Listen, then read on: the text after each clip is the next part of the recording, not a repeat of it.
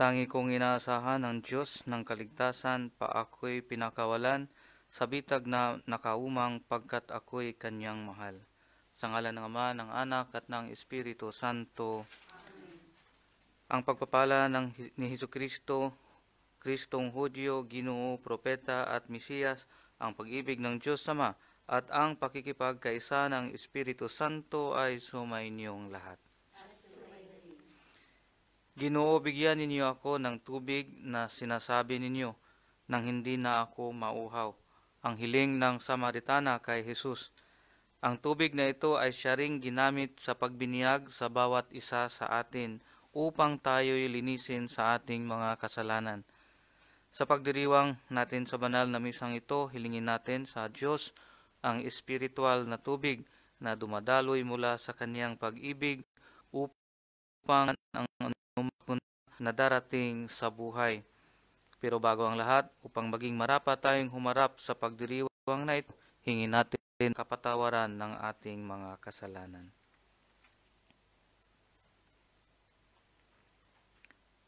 Para sa aming kawalan ng pananampalatayang ikaw ang Mesiyas na isinugo ng Ama, Panginoon, kaawaan mo kami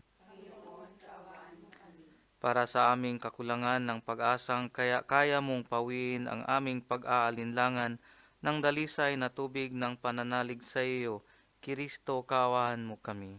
Kristo, kawan mo kami.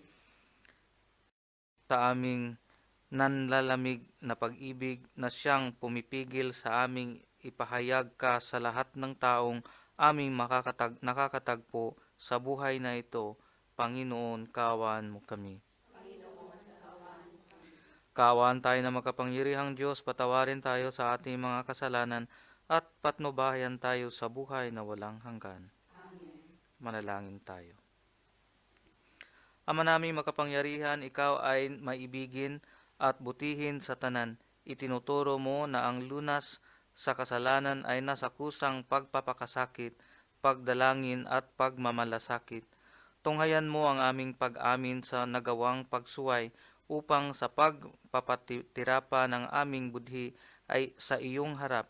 Kami lagi mong maibangon dahil sa iyong pag na tapat sa pamamagitan ng Hesus Kristo kasama ng Espiritu Santo magpa sa walang hanggan. Amen. Magsitayo. Magtiyo po.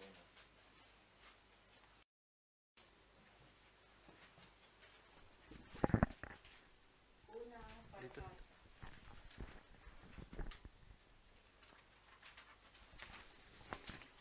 Unang pagbasa.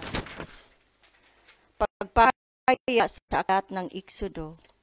Noong mga araw na iyon, talagang uhaw na uhaw na ang mga Israelita. Kaya anumbata nila si Moses. Inialis mo ba ba kami sa Ehipto para patayin sa uhaw pati mga anak namin at mga hayop? Kaya taimtim na nanalangin si Moses sa Panginoon. Ano ang gago sa mga taong ito? Ibig na nila akong batuhin. Sumagot ang Panginoon, Magsama ka ng ilang pinuno ng sambayanan ng Israel, at mauna kayo sa Israelita. Dalhin mo ang iyong tungkod na inihampas mo sa ilog, at lumakad na kayo.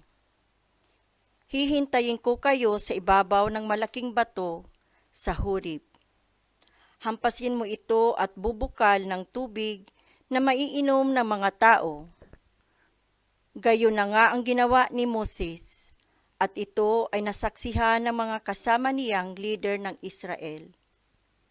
Ang lugar na yaon ay pingalan nilang Masa at Mereba, dahil sa dooy nagtalo-talo ang mga Israelita at sinubok nila ang Panginoon.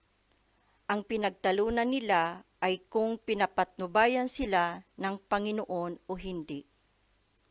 Ang salita ng Diyos. Salmong tugunan.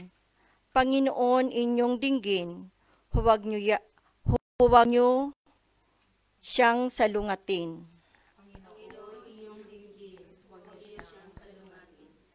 Tayo ay lumapit sa ating Panginoon.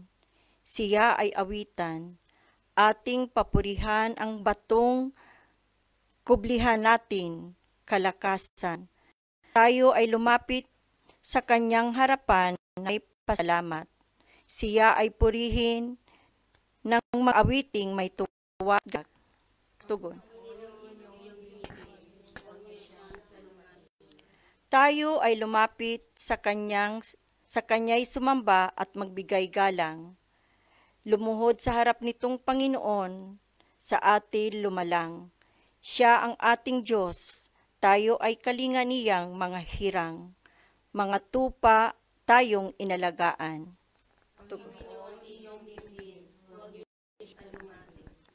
Ang kanyang salita ay ating pakinggan. Iyang inyong puso'y huwag patigasin, tulad ng ginawa ng inyong magulang nang nasa Meriba. Sa ilang namasa, ako ay tinukso doon, ay sinubok ng inyong magulang, bagamat nakita ang aking ginawang sila'y nakinabang.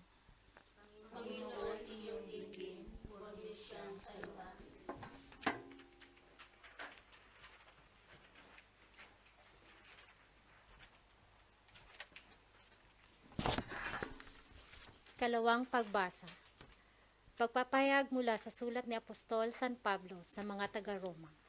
Mga kapatid, yamang napawalang sala na tayo dahil sa pananalig ng ating Panginoong Heso Kristo.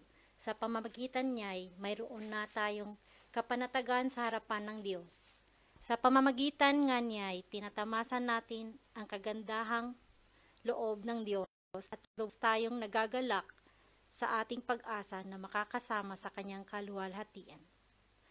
Hindi tayo nabibigo sa ating pag-asa sapagkat ang pag-ibig ng Diyos pinusaso sa pamamagitan ng Espiritu Santo na ipinagkaloob na sa atin.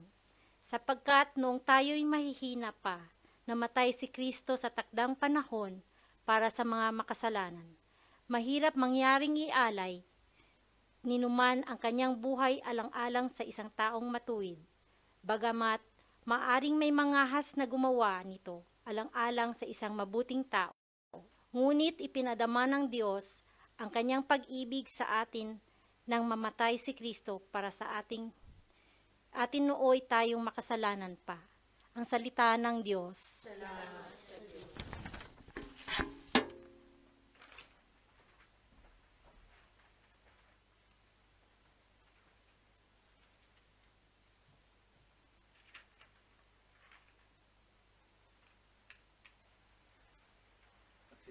Sabay-sabay tayo. Luwalhati at papuri sa iyo, Panginoong Heso Kristo, aming pinananaligang tagapagligtas ng tanan. Panginoon, kami bigyan ng tubig na bumubuhay upang kami di mauhaw.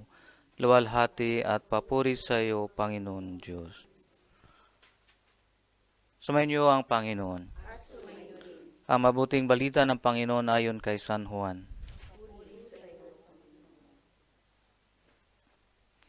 Noong panahong iyon, dumating si Jesus sa isang bayan sa Samaria na tinatawag na Sikar, malapit sa bukid na inigay ni Jacob sa kaniyang anak na si Jose.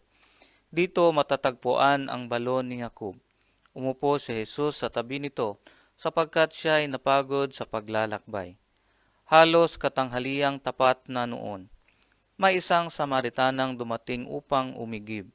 Sinabi ni Jesus sa kanya, Maaari bang makiinom? Wala noon ang kanyang mga alagad sapagkat bumili ng pagkain sa bahay. Sinabi sa kanya ng Samaritana, Kayo'y Hudyo at Samaritana ako. Bakit kayo humihingi sa akin ng inumin? Sagkat hindi nakikitungo ang mga Hudyo sa mga Samaritano. Sumagot si Jesus, Kung alam lamang ninyo kung ano ang ipinagkal- ipinagkakaloob ng Diyos, at kung sino itong humihingi sa inyo ng inumin. Marahil ay kayo ang hihingi sa kanya, at kayo na may bibigyan niya ng tubig na nagbibigay buhay. Ginoo, wika ng babae. Malalim ang balong ito at wala man lamang kayong panalok. Saan kayo kukuha ng tubig na nagbibigay buhay? Higit pa ba kayo kay sa aming ninunong si Jacob na nagbigay sa amin ng balong ito? Uminom siya rito pati ang kang mga anak at ang kanyang mga hayop.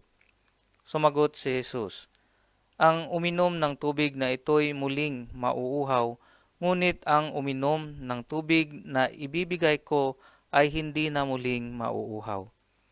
Ito'y magiging isang bukal na sa niya, babalong at mabibig, magbibigay sa kanya ng buhay na walang hanggan.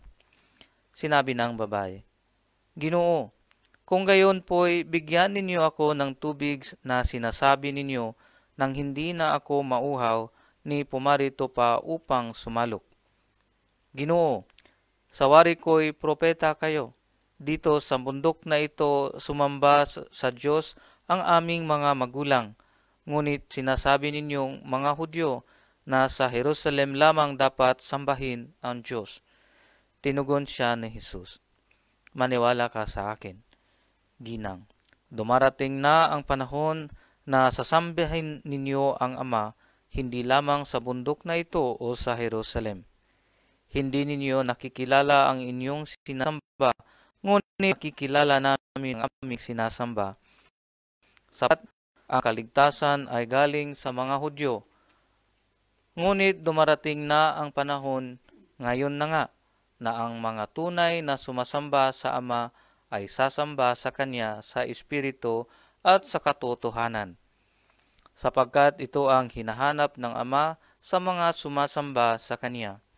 Ang Diyos ay Espiritu, kaya dapat siyang sambahin sa Espiritu at sa katotohanan. Sinabi ng babae, Nalalaman ko pong paririto ang Mesiyas, ang tinatawag na Kristo. Pag parito niya, siya ang magpapahayag sa atin ng lahat ng bagay. Akong nagsasalita sa iyo ang tinutukoy mo, sabi ni Jesus. Maraming Samaritano sa bayang yaon ang sumasampalataya kay Jesus, kaya dap, kaya't paglapit ng mga Samaritano kay Jesus, hiniling nila na tumigil muna siya roon at nanatili siya roon ng dalawang araw. At marami pang sumampalataya nang mapakinggan siya. Sinabi nila sa babae, Nananampalataya kami ngayon, hindi na dahil sa sinabi mo, kundi dahil sa narinig na namin sa Kanya. Nakilala namin siya nga ang tagapag nga ang tagapagligtas ng sanlibutan. Mga kapatid, ang mabuting balita ng kaligtasan. Kahit eh, nakaharap tayo, nahaharap tayo sa napakalaking crisis ng ating panahon ngayon. Huwag natin kalimutan na magpapasalamat sa Diyos sa lahat ng bagay na iginagawad niya sa ating lahat. Nais kong pasalamatan ng Panginoon sa kanyang pag-ibig dahil ngayong araw na ito ipinagdiriwang ko ang aking ika-anim na anibersaryo sa aking pagkapari. Ito'y isang malaking biyaya at karangalan na ako'y tinawag at uh, binigyan ng pagkakataong makapaglingkod sa kaniyang mga iniibig. Kansilado man ang mga mesa uh, ngayon dahil sa coronavirus, nagpapasalamat pa rin tayo dahil sa technology. Maihahatid namin sa inyong mga tahanan ang banal na misa. Kahit papano ay naririnig natin ang salita ng Diyos at nawawala ang uhaw ng ating kaluluwa. Sa pamamagitan nitong ating tinatawag na live mass via internet, Facebook, ay mapapakgan at panood sa angkamang panig ng mundo. Habang nananatili ang suspensyon ng misa, patuloy tayong magla-live para sa inyo. Kaya pasalamatan natin ang Diyos Huwag tayong mawala ng pag-asa, sama-sama nating ipanalangin sa may kapal na mawala itong crisis, itong corona na tinatakot ang lahat ng tao ngayon. Sa halip, alalahanin natin ang isa pang corona na nagbibigay buhay, hindi itong koronang nakakamatay. Kaya para makaiwas nitong koronang nakakamatay, panatilihin ang proper hygiene, iwasan muna ang taong at magas palagi ng kamay. Labis na naapektuhan ang tao sa ngayon. Hindi ka na makakabili ng mask, taper, keeper. Ang isang araw, pati natto, wala na. Kahapon, nagpunta ako sa supermarket at tiningnan ko talaga yung shelf na wala nga. May mga nakita akong parang tissue. Nilapitan ko na, diapers pala at uh, pansapin pala. Dami ngang nagpanic buying, ngunit yung mga walang pera hanggang panic na lang. Kung naging, tingnan natin, kung naging virus kaya ang Panginoon, magpapanik din kaya ang mga tao. Yan ang iisipin natin. Nagpapanik tayo sa virus, pero kapag nagiging virus ang Panginoon, magpapanik din kaya tayo. Ibang corona ang dala ng Panginoon, parihong inaayawan ng mga tao. Pareho itong nakakamatay, ngunit mabubuhay ang tatanggap ng korona ng Diyos. O saan kayo? Pili na kayo sa na- nabubuhay o sa nakakamatay na korona.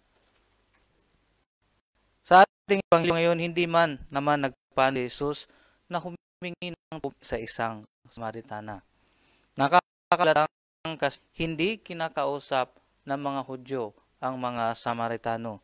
Kaya ang sagot ng babae, kayo'y Hudyo at Samaritano ako. Bakit kayo humihingi sa akin ng inumin? Eh kung tao pa yon, kung tayo-tayo lang, ano ka, hello? Hindi, kina, hindi kita kinakausap, parang ganun.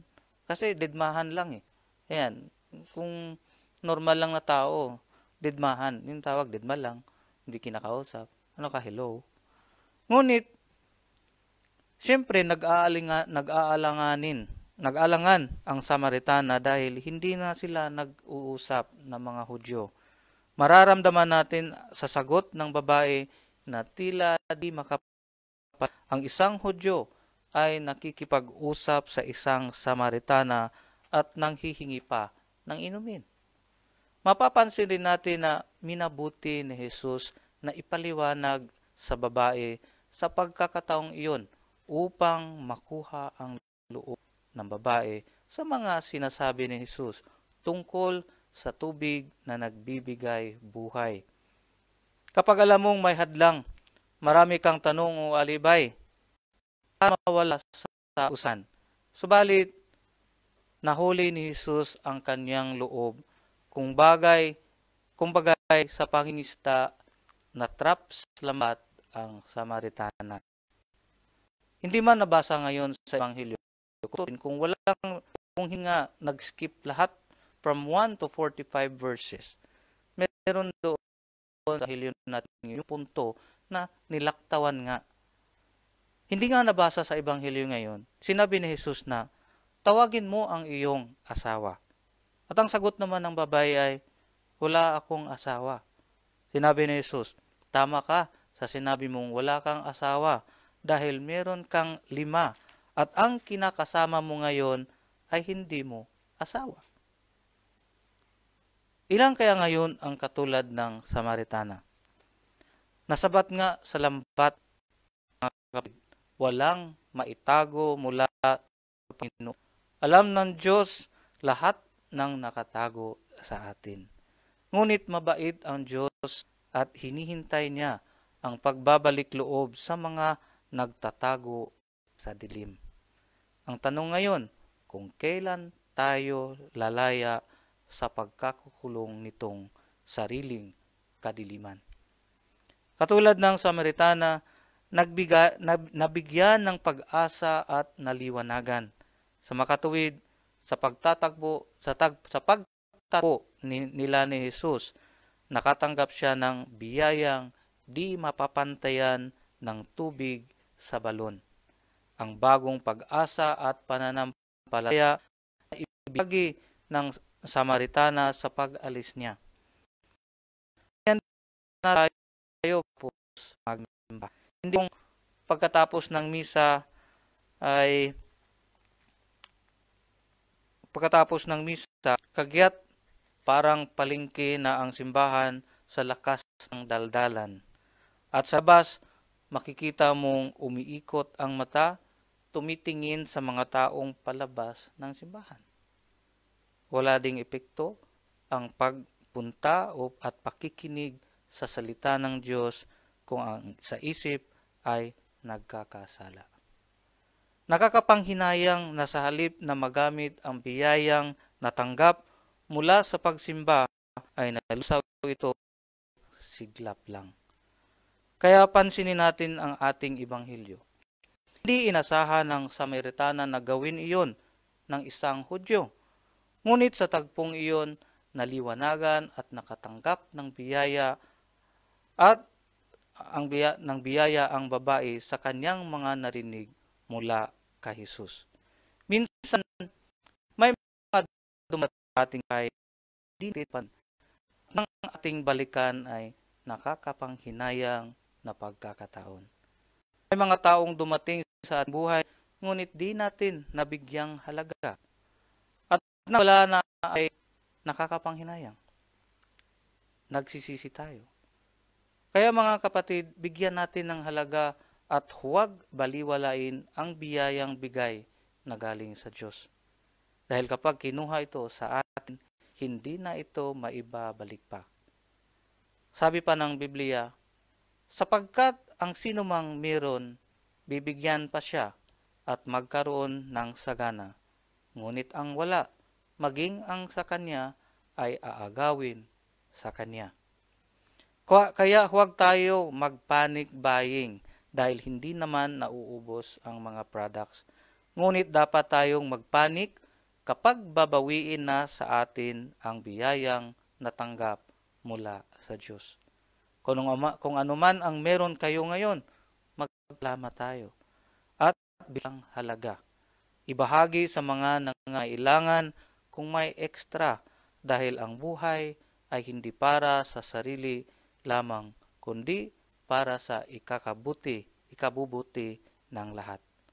Aanhin ang sobra kung di naman natin madadala kung tayo'y mawawala na. Ang mahalaga ay mamunga ang itinatanim sa ating mga puso at mabahagi ito sa mga naghahanap at naghahangad na magkaroon nito. Dahil sa oras ng paghaharap, malalaman natin kung tayo'y nagkulang ba o katamtaman lang sa paglilingkod at sa pagmamahal sa Kanya. Amen. Makita tayo pong lahat. Papahayag natin ang ating pananampalataya. Sumasampalataya ako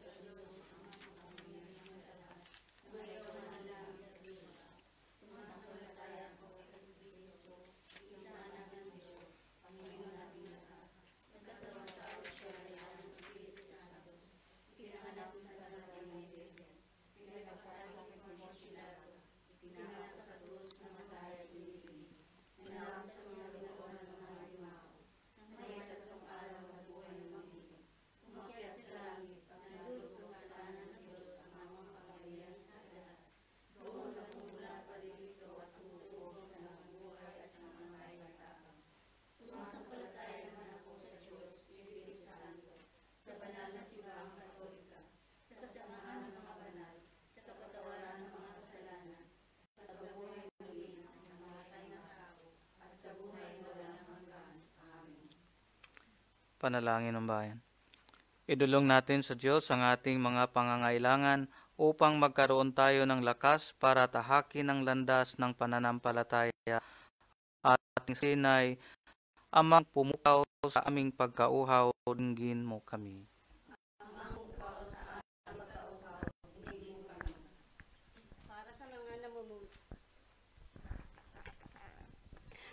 Para sa mga namumuno, simbahan upang matugunan nila ang pagkauhaw ng bayan ng diyang pagtuturo at magpapatibay sa panampalataya. Manalangin tayo sa Panginoon.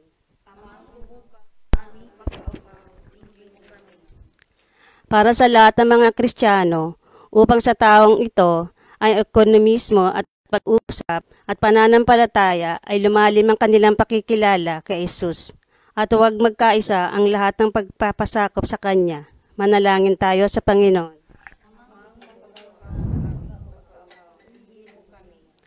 Para sa mga namumuno ng ating bansa, upang sa kanilang paglutas sa sari-saring suliranin ng ating lipunan ay magawa nilang harapin sa Diyos ang mabisang lunas. Manalangin tayo sa Panginoon. Para sa mga Hudyo at sa lahat ng taong hindi kinikilala si Jesus bilang Mesiyas, upang sa banal na panahong ito ay matuklasan nila ang bi- ligayang dulot at pagtanggap sa Kanya. Manalangin tayo sa Panginoon.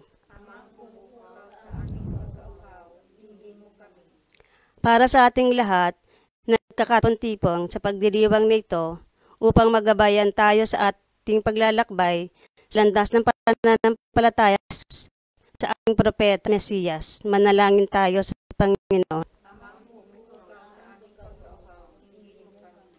Timik na natin langin ang sarili, sariling kahiling.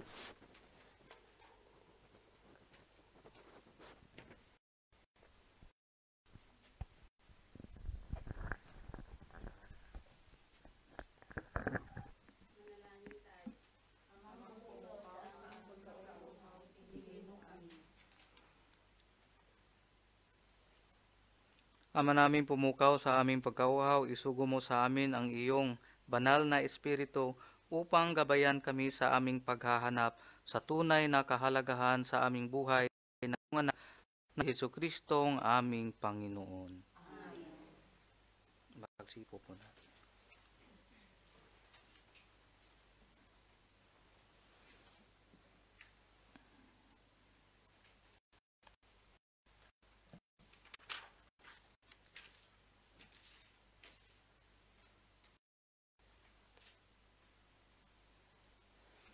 Kapuri-puri ka Diyos na amang lumikha sa sanlibutan sa iyong kagandahang loob. Narito ang aming mayalay mula sa lupa at bunga ng aming paggawa. Ang tinapay na ito para maging pagkaing nagbibigay. Kapuri-puri ka, poong may kapal, ngayon at kailanman.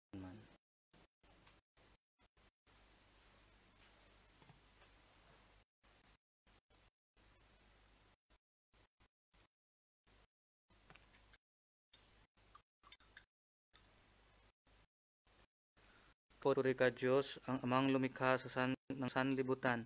Sa iyong kagandahang loob, narito ang aming maialay. Mula sa katas ng ubas at bunga ng aming paggawa, ang alak na ito para maging inuming nagbibigay ng iyong espiritu.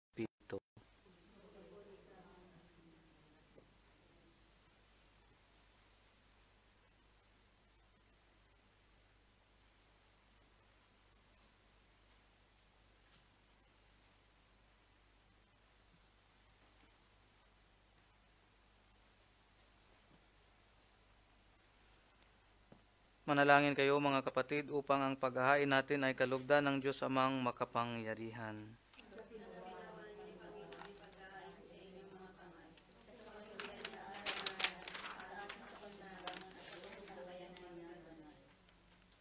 Manalangin tayo.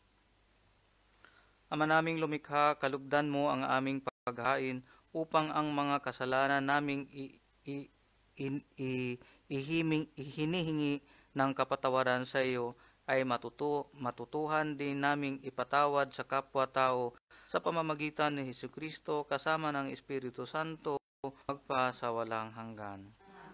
Sa inyo ang Panginoon. Itaas sa Diyos ang inyong puso at diwa. Pasalamatan natin ang Panginoong ating Diyos. Ama namin makapangyarihan, tunay ngang marapat na ikaw ay aming pasalamatan sa magitan ni Hesus na Panginoon. Sa kanyang paghingi ng tubig sa babaeng taga, Sama, sa, taga Samaria, kanyang ipinagkaloob ang pananalig upang ang nilapitan niya ay sumam, sumampalataya. Sa pagkauhaw ng iyong anak, kanyang masidhing, hinahangad na ang pag-ibig mo'y maipakilala sa mga sumasampalataya sa kanya. Kaya kaisa na mga anghel na nagsawit ng puri sa iyo nang walang humpay sa kalangitan, nagbubunyi sa iyong kadakilaan. Santo,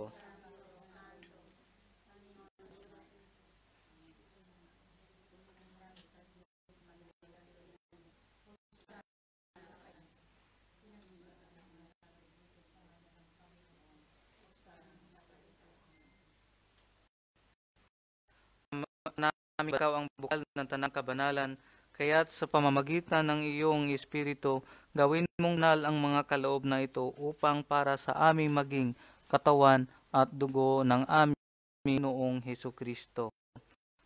Bakit niya isang loob na niya napay.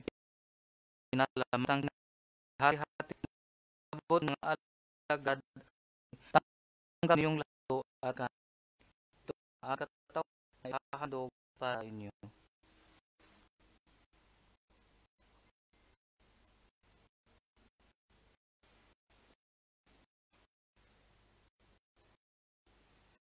Gayon din naman nung matapos ang hapon, hinawakan kalis. Kanya ang pinasalamatan. Iniabot niya ang kalis sa kanyang mga alagad at sinabi, Tanggapin ninyong lahat ito at inumin. Ito ang kalis ng aking dugo, ng bago at walang hanggang tipan. Ang aking dugo na ibubuhos para sa inyo at para sa lahat sa ikapagpapatawad ng mga kasalanan. Gawin ninyo ito sa pag-alaala sa akin.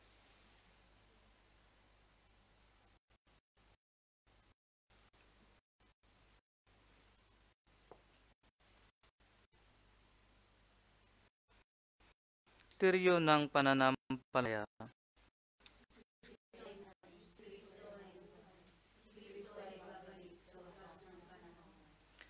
Ama, ginagawa namin ngayon ng pag-alaala sa pagkamatay at muling pagkabuhay ng iyong anak. Kaya't iniaalay namin sa iyo ang tinapay na nagbibigay buhay at ang kalis na nagkakaloob ng kaligtasan. Kami nagpapasalamat dahil kami iyong minarapat na tumayo sa harap mo para maglingkod sa iyo. Nasama rin kaming magsasalo-salo sa katawan at dugo ni Kristo ay mabuklod sa pagkaisa sa pamamagitan ng Espiritu Santo.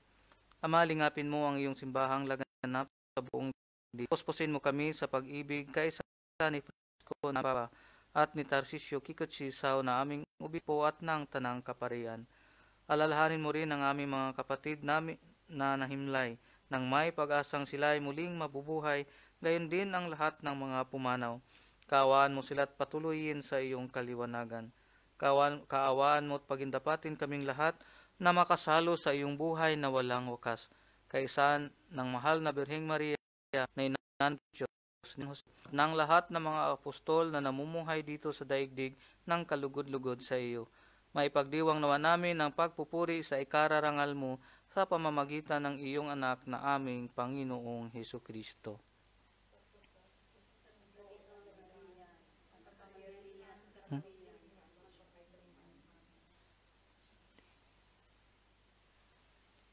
Sa pamamagitan ni kasama niya at sa lahang parangal, papuri at Diyos kasama ng Espiritu Santo magpasawalang hanggan.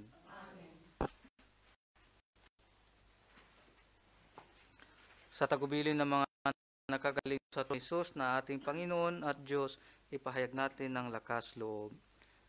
Ama namin, sumasalangit ka sa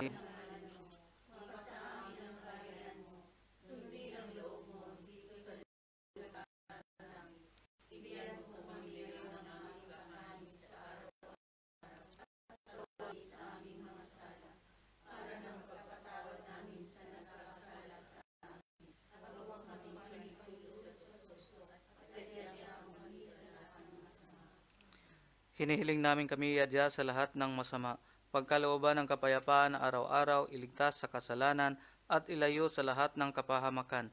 Samantalang aming pananabikan ang dakilang araw ng pagpapahayag ng tagapagligtas naming si Hesu Kristo.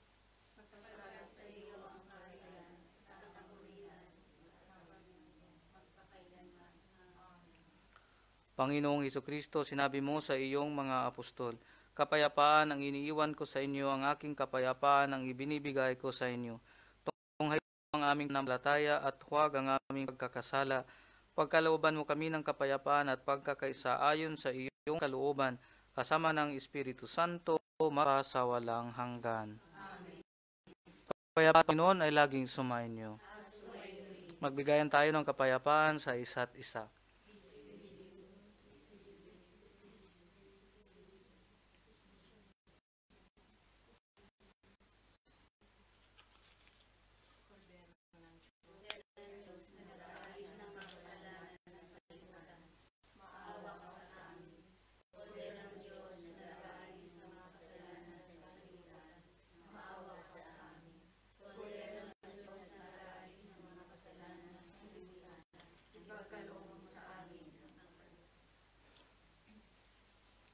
Ito ang kordero ng Diyos, ito ang nag-aalis ng mga kasalanan ng sanlibutan. Mapalad ng mga inaniyahan sa kanyang piging.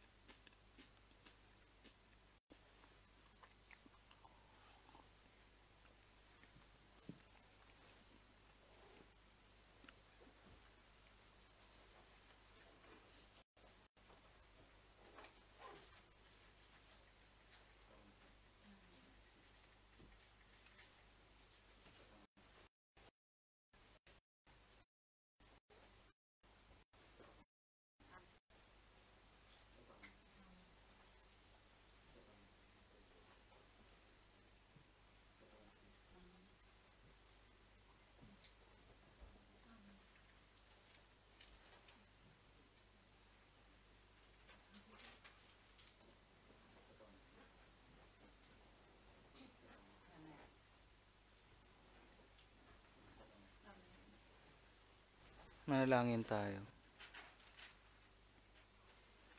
Ama namin mapagmahal, sa pakikinabang namin sa iyong banal na piging, pinagsasalo, sal, pinagsalo-salohan namin ang bigay mong pagkain. Ang ginaganap namin ngayon sa diwang ay lubos nawang mangyari sa gawain naming araw-araw sa pamamagitan ni Hesus Kristo kasama ng Espiritu Santo magpasawalang hanggan. Sumainyo ang Panginoon. At pagpalain kayo ng makapangyarihang Diyos ang Ama, Anak at ng Espiritu Santo. Tapos na ang misa, humaya kayo sa kapayapaan upang mahal paglingkuran ang Panginoon.